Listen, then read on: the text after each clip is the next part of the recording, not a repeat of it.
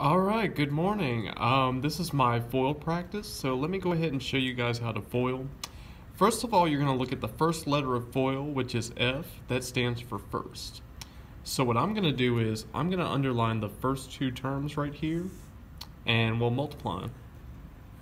So x times x is x squared. Now let's go ahead and look at the O part of FOIL. That stands for outer, or outside. So what I'm going to do is I'm going to get rid of this underline and I'm going to put one under the 1.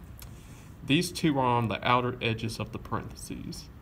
So what's x times 1? That would be just x. So let me write plus x. Okay. The I stands for inner, so I'm going to underline the two that are inside, like this. 6 times x is 6x. Okay, the L stands for last. So what I'm going to do is I'm going to put a double underline under my last two terms. These are going to be on the right sides of the parentheses. So let me get this 1 and this 6. And 1 times 6 is 6.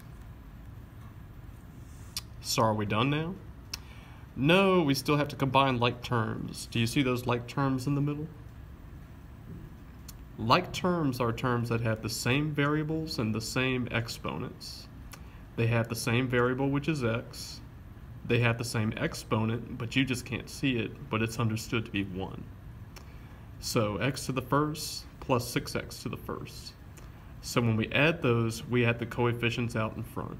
6 plus 1 is 7. So I bring down my x squared.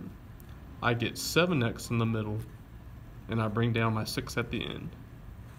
And that's how you FOIL.